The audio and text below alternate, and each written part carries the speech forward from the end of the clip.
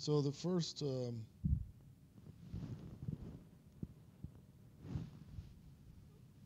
the first thing I'm just going to talk about for a minute. Um, so I'm going to write code today, basically live, and I think there's some utility in this because I'm not just going. You're not just going to sit there and watch me type. I mean, I'm going to explain to you the thought process, and I think that's useful. Uh, other people have told me that you know it's useful to because if you're not you don't have an aptitude for coding and have a lot of practice of it, you may not really understand why you do one thing or another. Uh, the other thing is, um, I'm going to use Python, and there's kind of three reasons for that. One is I prefer it, and that alone is not a good enough reason to convince anyone else to use Python. Um, but with, um, I prefer it with the experience of 15 years of coding on a daily basis uh, in about 10 different languages, okay, and uh, including MATLAB. And um, you know, one of the one of the big feedbacks we get from students in their exit interviews when they leave uh, is that, well, you you spent all this time teaching us MATLAB and forcing us to use it in our classes, and I'm going to work for small company XYZ, and they're not going to have MATLAB. So all of that was a big waste of time because MATLAB's too expensive, you know, at a commercial level for this company to have. That has three engineers.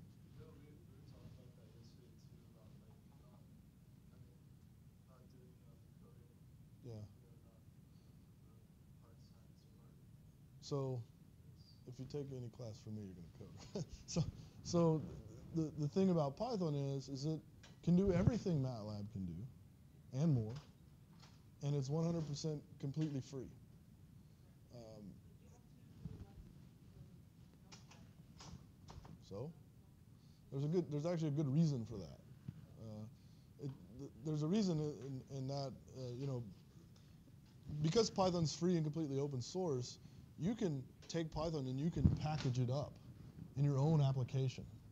That application could run on a Raspberry Pi that's embedded in your motorcycle to play songs in your in your helmet, right? I mean, you could you have the skills to write a code that could do that, okay? And the beauty of Python is that because it's open source and, and free, you can you can wrapple it up, bundle it, and you can even sell your little widget to the world with Python embedded in it. And and when you start embedding software on smaller and smaller devices that are more and more memory limited, may not want the entirety of the world of functions in there because they all all those libraries they all take up space that and if you're not using them you don't you don't want them on there. So um, you know if you're doing some just general purpose programming or something not necessarily numerical programming then you wouldn't want to install NumPy or SciPy or Matplotlib. So those are the three libraries that sort of give you the functionality that are equivalent to Mat to MATLAB right? Um, so you know it's a general purpose programming language and and uh, it, it's far more powerful. It's object oriented and other things, and it's it's it's really far more powerful than MATLAB. But with the with the libraries, NumPy, SciPy, and Matplotlib, you can reproduce all the functionality of MATLAB and. So that's sort of one of the reasons I'm going to use Python. Uh, and also just to show you guys, you know, here's a free piece of software you can use at any of your jobs without that can do everything MATLAB can do it's probably easier to write. I mean, you'll see when I write the code, it, it sort of almost looks like pseudocode, like how you would write, you know, pseudocode is like, pseudocode is like if I was going to go over there on the board and write out a program, I would say like for i equals, you know, th this is almost exactly the syntax for Python, so it's, it's almost easier to write. so I'll give you some exposure to that. Uh, what else? There, the, the, the sort of the, the second reason I'm going to use Python is because by the end of Monday's class, I'm going to have written basically the entire code. What's left for you to do, right? Uh, if I just did it in MATLAB. So you're either going to have to learn a little Python if you want to follow what I did, or you're going to have to translate my Python into MATLAB, which is not that hard. But that leaves something for you to do, right? Uh, so I, I had an I thought of another reason, but anyway, I, I can't think of it now. So uh, I'm sort of old school. I, I, I, just do all of my coding in a command window with a with a proper editor. So I, this is just a terminal window on a Mac uh, that, that I've split into three panes. So down here is a pane where I'm going to sort of run the code. This is sort of my console, you know, I'm going to type commands here that will be executed. This is an editor window. So this is part of the code that I've already written, and I'm going to write more today. This is an editor window. And this is, this is also an editor window, but this includes my inputs. Right? So I have a little input file. These are the parameters that, I'm, that are going to be read into my code. And really, the, the part of the code that exists there is just the part of the code that parses my input. Okay? But if you like a more MATLAB-esque interface, um, you can really easily install uh, Spyder. Spyder. and Spyder gives you sort of your, it's very MATLAB-esque console, right? So here's your editor window, here's your console, this is where messages would come up or your variable inspector here. So, and, and also, um, if you were to execute code, then your, your plots would appear. Like, let's see.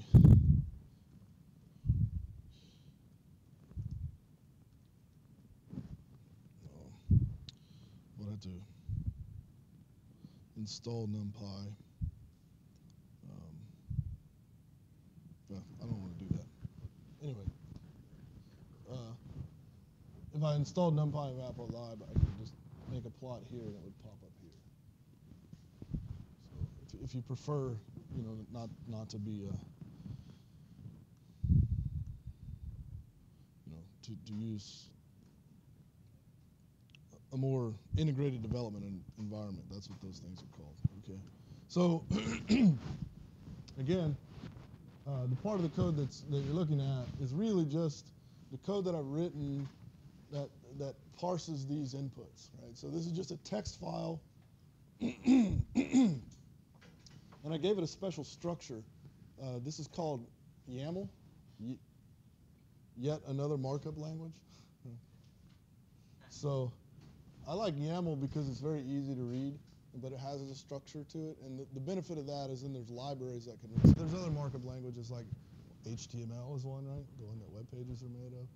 And uh, then there's also XML, extended markup language, JSON, and YAML. Is, is, you know, YAML is sort of the one with the least amount of uh, extra characters to, to markup, you know, to, to what's important. So this is my input file. And then I, you know, in Python I can, there's just a simple uh, library, a YAML, YAML library, and so then I can just say YAML load my file name, and, and it just sucks everything in, and then I can just define things right based on their name, right? So I'm going to define a variable dt, and don't worry about these selfs, right? You'll see a lot of that in the code. These are associated with the object-oriented nature of Python um, which is not really important for what we're talking about today. So just sort of ignore the selves. I mean, these are variables, right? dt and width and, and mu and q. And you can see that, you know, just based on this uh, YAML library, then I can just, I read it in to, a, to a, something called input data, which contains everything, and then I can suck out, you know, numerical time step and, and, and store it as dt. Right? And so that comes from here. Time step is this. So, so all of this is just sort of a, an initialization step. And then what we're going to write today, you know, I have two. I have a function here: create grid and elastic influence function. So if you remember, we had this um, this thing A, this matrix AIK, uh, that was this constant times this influence function. And the influence function is a function of the grid centers and the grid corners integrated over the entire domain. Okay? And so the, what I'm calling the elastic influence function is this AIK. And we can just solve for that once up front. Once we define the grid, we just have to compute what that is one time. So we can do that as sort of an initialization step. and if you remember that this is what I is. so it's the x position of the center of the ith grid block minus the x position of the right side of the kth grid block. Right? And both i and k go from 1 to the number of grid blocks. Right? So it's going to be a matrix because you know, you'll, it'll have i rows and k columns. and I'm going to create that guy.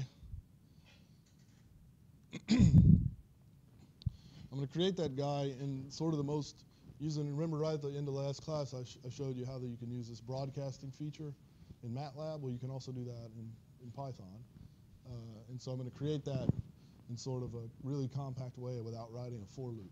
So you would, you would normally sort of, maybe your coding intuition would tell you, if I'm going to create a matrix ik, then I need to create a, write a for loop, two for loops, one that loops over i, and one that loops over k. And I'm going to show you that using the broadcasting feature in Python, you, you don't have to do that. Those of you that come in late, I'm doing this in Python. I'll post a homework assignment later today. You don't have to do it in Python. You can do it in MATLAB, but that's going to call, you're going to have to basically translate my Python code into MATLAB. Or, or you can use Python, whatever you want to do. it, it's just, I, ha I have to make you do something because by the end of Monday's class, I will have written the whole code. so. You have to learn Python and use what I wrote or translate it.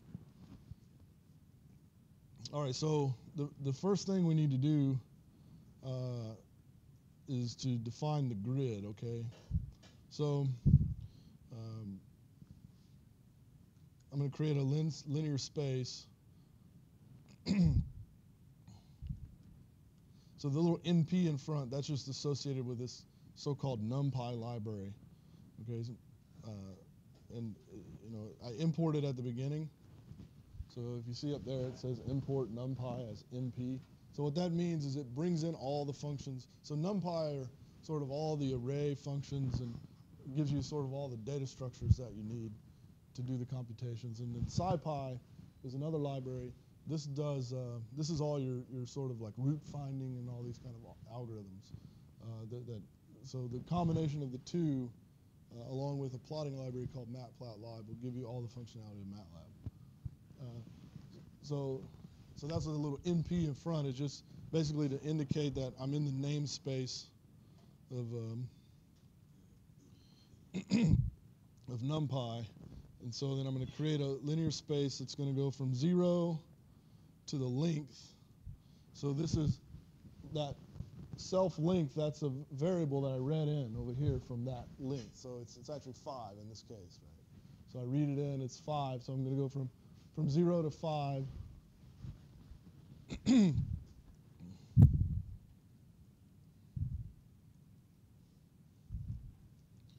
in um,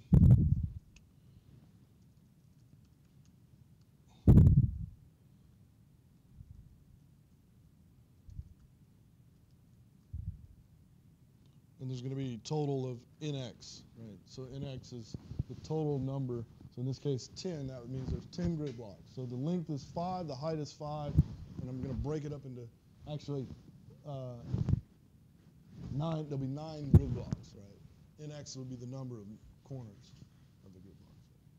So it's going to be 9 grid blocks.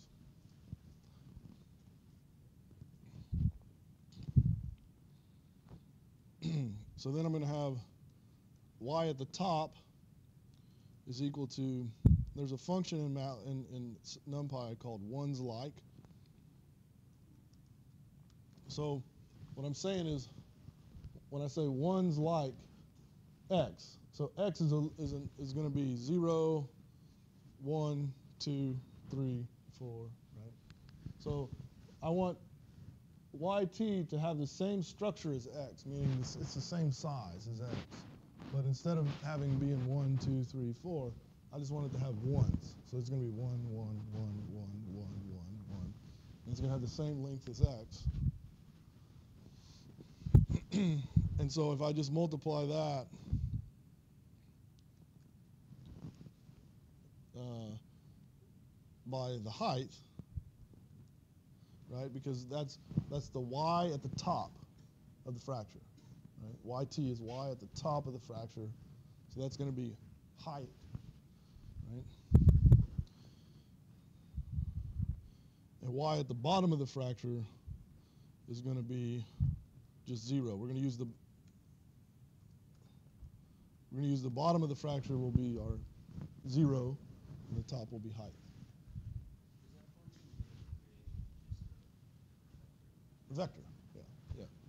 So x is a vector, uh, y, yt is a vector like x, meaning it's the same size, but it's going to have ones in it. And then if, I- if I multiply 1 by the height, then it's going to have height, right? This is a little trick.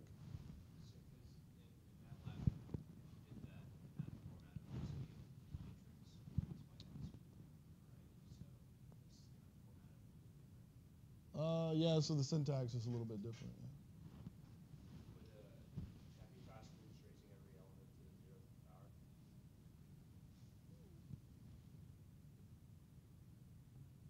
Yes. But probably not much different. Yeah. Good idea though. Um, okay, so then uh, so then I'm going to define the grid centers. So I'll put a comment in here. Define grid centers. So that X represents the corners of the grids, right? So now to find the, the centers, and we'll call that XC, now we can use one of those finite difference operations that we talked about last time. So we're going to take, now Python, like all good programming languages, are zero indexed, right? So in MATLAB, the first element of an array is one. In Python, it's zero. That's the same as C, right? In C languages, C++, the first index is zero. There's a, a good reason for that. I won't talk about why. But so now we're going to go from one, and the colon means the end. So that's a, x is an array. I'm going to start in the one indice, which is actually the second one, right? Because it's zero, one. So I'm going to take from one to the end of the array.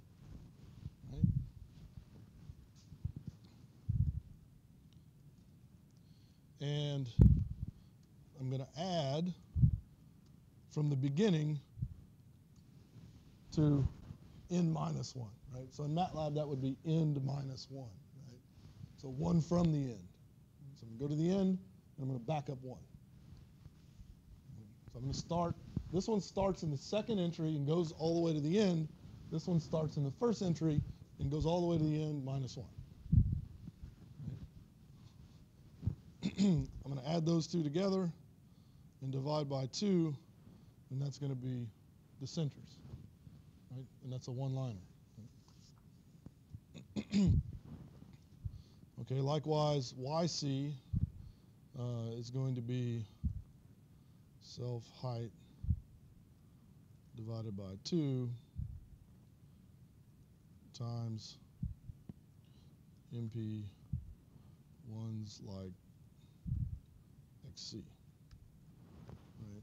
And the reason I did that is, you know, XC, XC is one, it has one in, entry less. It's the centers, right? So it has one entry less than X. So I'm going to have make a new vector, a new array that has uh, ones to the length of XC, and then I'm just going to multiply by the height divided by 2. That'll be the center in the y direction.